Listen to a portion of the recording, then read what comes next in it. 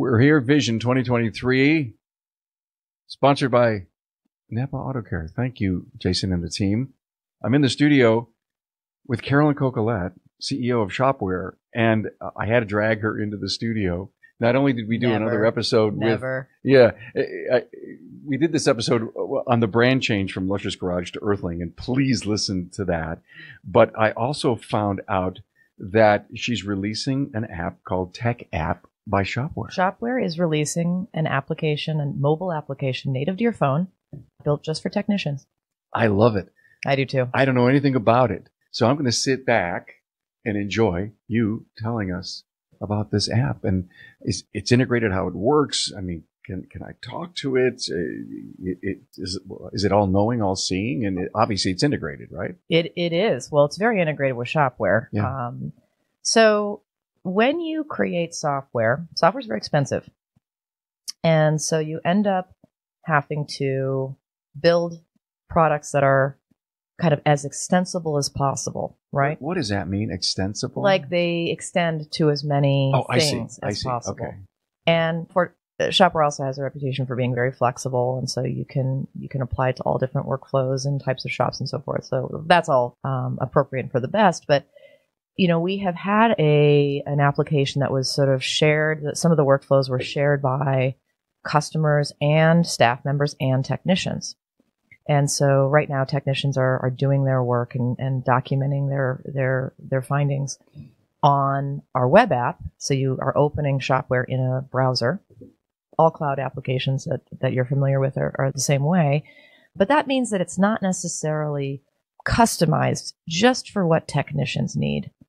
And of course, we're very passionate about the stuff that specifically technicians need. We care a lot about this business and we care a lot about the professionals that are doing it. As a result, I, I believe we're, we're providing software that is better at understanding your needs and meeting your needs.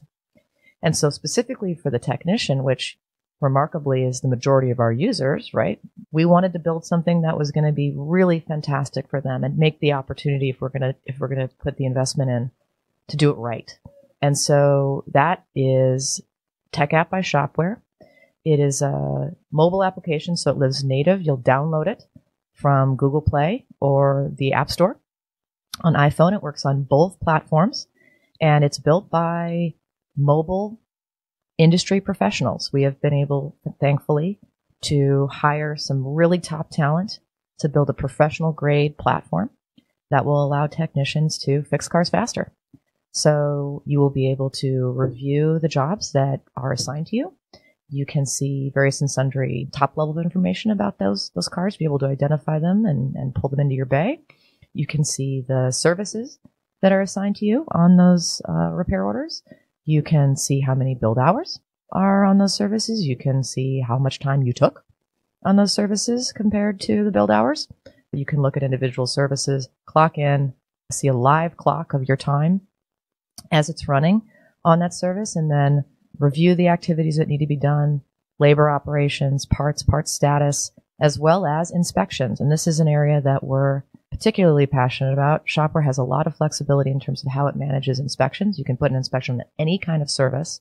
And this is finally optimizing the way the technicians are filling out those inspections. So we will be using natural sort of mobile uh, behaviors like swiping to be able to fill out that checklist lightning fast. You're swiping right to check green. You're swiping left to, to check yellow or red. And if you check yellow or red, you're instantly placed at an entry form where you can talk to text or put your notes in, access your camera, attach stuff that you might have already taken or videos, etc. So instantly get media on that ticket and then move on to the next the next item. So the the interface, the way that you're going to be able to both understand what your work is, but also communicate your findings and the results of your work through this interface are, I think, going to really delight you as a as a professional, and you'll feel like this was designed for you because it was. It's exciting. It's a management tool. Is it a diagnostics tool? So currently, I mean, uh, Shop-Ware currently integrates with with different diagnostic platforms, and we're integrated with service information. We have quick specs. We have other kinds of stuff that technicians can use for reference.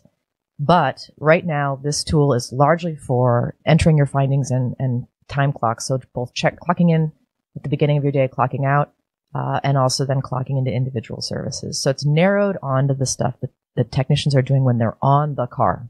That's step one. We have lots of additional stuff that's happening um, after this initial release. So it's the responsibility, the, the app, Tech App by Shop-Ware, literally takes the software into the hand. And the the job of the process of the technician to do his inspection and to follow up and follow through. It's almost like if you were do if you were paying flat rate, the, the analysis is is there in the hand. I mean, you could Sure. he's on or he's off. I mean, is there a clock in and clock out thing Correct. on it? Yep. Okay. Yep. And, and it's integrated into your flow looking at the service, right? So it's much easier for you to remember to clock that time and to clock in when you are actually starting your work and just I- increasing visibility, not only for sort of tracking your efficiencies and so on and so forth, but when you're actually working on the car, knowing how far you're in and whether you're getting close, do you need to stop and go have the uh, service advisor sell some more time for that diagnostic, or do you need to pick up your pace and get this job done? So if if I had the laptop at my toolbox, you're basically taking that and putting it in my hand at the vehicle. Yeah, so there's certain workflows that are best done on a large screen, like looking up wiring diagrams, for example, or wanting to review lots of service details or read a bunch of notes. So there's there's different workflow tools that are still, you know, on our web app and that you would use the browser to manage on any device, including a workstation. The stuff that's currently being built in Tech App, and again, this is just you know version one, is the work that you do when you're on the car. So documentation, reviewing the work that you need to be done, clocking in and out of services, um, and that's ultimately where technicians have their speed, right? So technicians don't get paid to move clipboards. Technicians don't get paid to go find keys. Technicians don't get paid to even necessarily take photos or document their details. It's certainly in your best interest to do so. You get paid to fix cars. And so the idea is to minimize the administrative burden that is required for you to fix cars. And that's what this app is doing. You know what it sounds to me like? We've done episodes on lean and Mhm. saving steps. That's right. Yeah. So understanding that a lot of technicians using Shop-Ware today already use their phones to document repairs. They're just doing it through a browser app instead of a native app. So the idea here is that this app is allowing you to operate without the limitations of what is and not possible inside of a browser. So there's more you can do with the app. absolutely. Got it. And it's natives in the way that it's going to access your camera. It's going to track your location. It'll be able to clock in and out for, for shifts and stuff like that. So visibility. There's other kinds of things that this is able to do for you that a browser just doesn't unlock. I figured it out now. The reason that you write the app for the phone is it's if I think you said the word native to the power that the phone has, Mhm. not the web browser Mhm. that needs to what send stuff back and forth, formatting and Yeah, stuff. it's just not as integrated. It's just harder to use. You know, the number of clicks, the ability to like turn on the flash for your camera to zoom in and out. We're definitely looking at other kinds of things like voice commands. And you, you talked about, can I talk to it? You know, you can talk to text, but you're not commanding, hey, shopware, take a photo. But we're absolutely going to go there.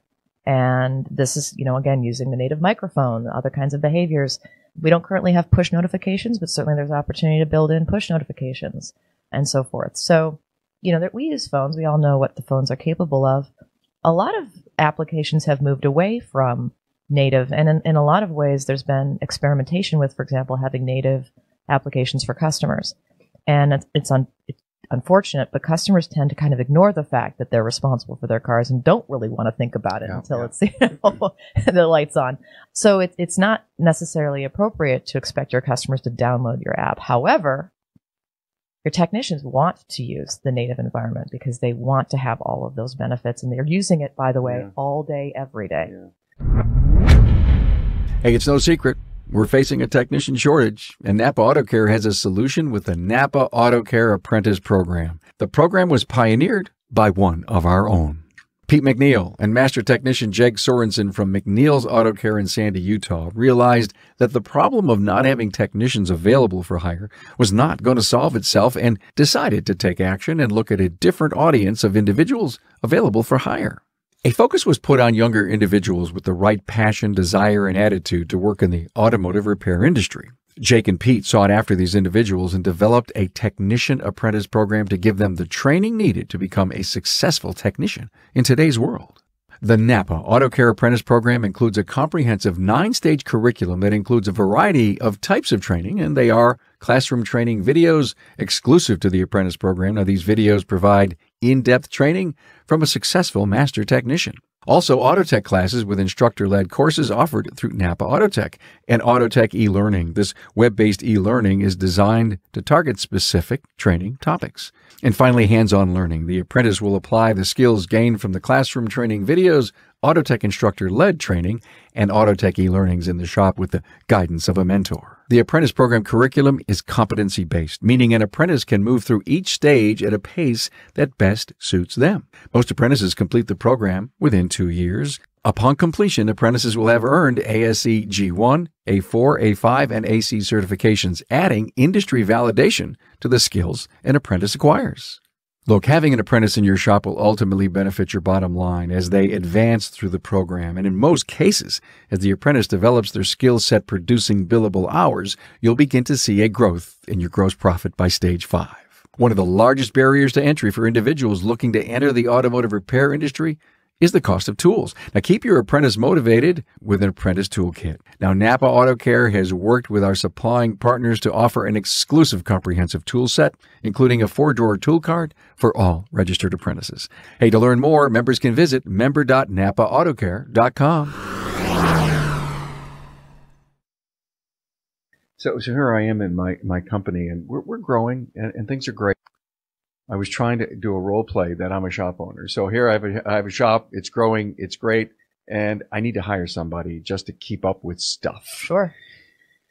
How do I really know and how efficient am I and our people are? And as I'm, I'm thinking the whole app thing about the improvement of efficiency. Yes, of course. The technician's efficiency and the workflow inside the, and the information that comes up at the front counter probably instantly as the stuff is being done in the bays. Yeah. So This- there, okay, here's how it goes. There's efficiency. Sure, everyone wants to be efficient. Really, that's about money, and that I want to make more money. I don't want to waste time. So that's the money that's in my pocket. That's the number of build hours that I'm getting potentially flagged for, you know, in my paycheck at the end of the week. But money isn't the source of happiness. Happiness is the source of happiness. And ultimately, your technicians wanting to come work at your shop feel like they are respected, that their time is respected. Yes, you want to be profitable. Yes, they want to be profitable and have a livelihood. But ultimately, we're talking about how do we get these people to want to come work in our businesses and stay there.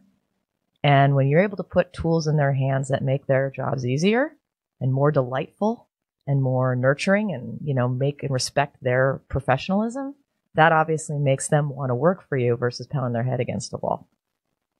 Going to be tied to DVX. It's totally tied to DVX. for Totally for tied. sure. The customer's experience. Yeah. So what the technician's capturing is is ultimately service to the customer. Um, and in this case, it's allowing Shop-Ware to um, attach those those findings directly within the inspection items and show them in a way that's stitched together. Um, and that's what traditional DVIs have done for a long time, but they lack the the richness that shoppers, repair orders, and the customer share experiences, including diagnostic details after the job is finished and showing the repair, being able to pay in that environment, those kinds of immersive benefits of DVX, stitching those with the, the sort of uh, inspection flows, and, and noting that also DVIs are traditionally one size fits all. It's a courtesy check. You're not using inspections for diagnostics. You're not doing inspections for or using DVIs for part of your normal repair services, quality control, stuff like that. This is going to use work universally. So anything that the technician needs to communicate at any stage of the repair will be powered by this app and make that make that work easier and obviously high value because that's the stuff that you want to show off to your customers.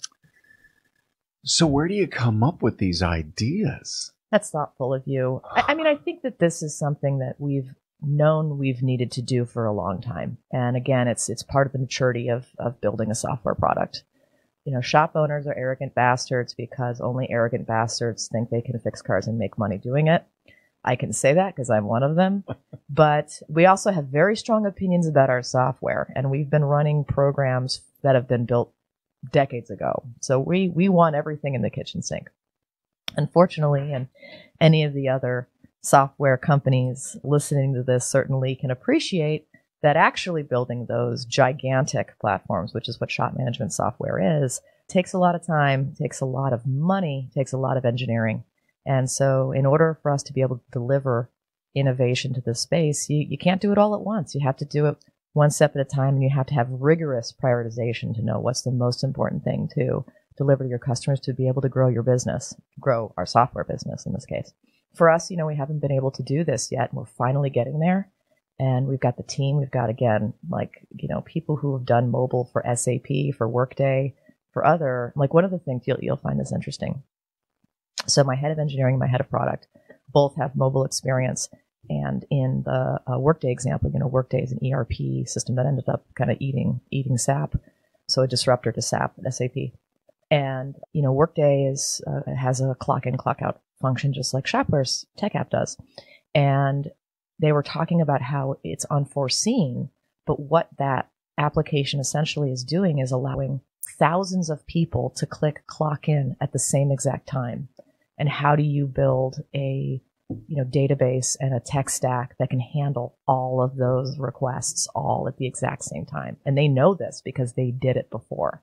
You have to build an app that's going to be able to work when thousands of people all on the East Coast all click clock in at 8 a.m. Right. And I was like, wow, this is a great example of something that I would never have thought of. But because you've been there and you've, you've got sort of the scars to prove it, we can fold all of that learning into the thing that we're building. And we've actually, we had a user group yesterday here at the Vision event to be able to bring our customers together, show them some of this stuff, get their feedback. And, you know, we have a prototype that we're showing at our booth and so forth and getting people to really touch it and feel it. We've been interviewing a bunch of our customers and their technicians and so on to be able to validate what we're building. I mean, this is this is the real thing. And I think when people use it, when it's in their hands and they use it, they're going to be able to tell. Two comments. Number one, the most powerful word I heard in the last three minutes was engineering. Hmm. And I don't know if we, as users of software, no matter what we do we on our know. phone, we don't have a clue the power of engineering. Wait a minute, you're not building a building? Wait, you're not building a widget? No, it's software.